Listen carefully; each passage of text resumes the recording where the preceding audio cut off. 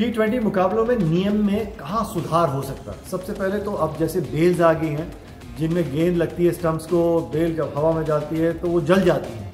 और कई बार देखा है इस सीज़न भी, इस प्रतियोगिता में या अंतर्राष्ट्रीय क्रिकेट में, गेंद स्टम्प्स को टकराती है, बेल जो है वो जलती ज़रूर है, लेकिन गिरती नहीं है।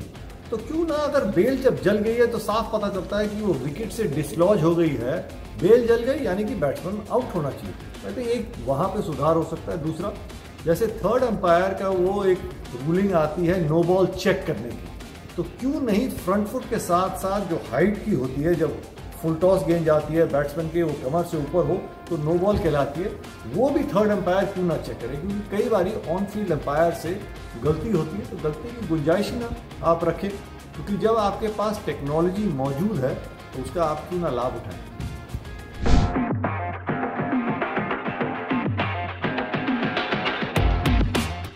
भाई 2023 विश्व कप से भारतीय थिंक टैंक जो है, वो कहाँ सुधार देखने को कर रहा होगा? भारतीय team I think opening sorted है मिडिल ऑर्डर और मिडिल ऑर्डर से ज़्यादा ज़रूरी है कि जब एक बार वो 15-20 रन बन जाते हैं ना तो मिडिल ओवर में वो strike rate I think that is somewhere we can look to improve and of course death bowling death bowling के साथ मोमेंटम भी चेंज होता है। So I think these two things भारतीय think tank would be looking to address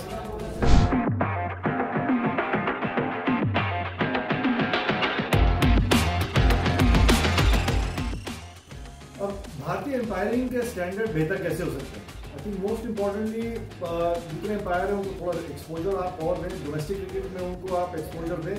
And of course better evaluating system जो numbers का system है ना, उसको हम बेहतर कर सकते हैं। I think that's an important aspect captain के साथ साथ जो मैच रेफरीज नंबर देते हैं I think that's the important aspect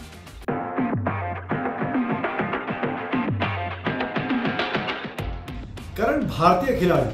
current कौन भविष्य में अच्छे कोचेज बन सकते हैं?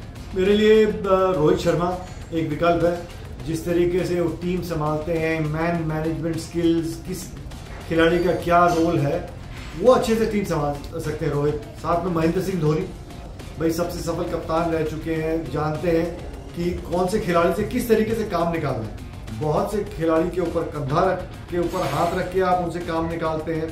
बहुत से आप देखते हैं कि भाई, इसका रोल सिर्फ़ यहीं तक सीमित है। तो ये चीज़ें कोच को जानना बहुत ज़रूरी रहता है। और बॉलिंग विभाग में मैं समझता हूँ फ्रॉम करंट क्रॉप जो है मोहम्मद शमी जानते हैं कि ज़्यादा बात करते हुए नज़र नहीं आते in front of the camera but behind the scenes में बता रहा हूँ मोहम्मद शमी यंगस्टर्स के साथ बहुत अच्छे से बात करते हैं। उनको वो कला सिखाते हैं the art of swing bowling सुल्तान के स्विंग है। सबसे बढ़िया सीन पोजीशन भी है।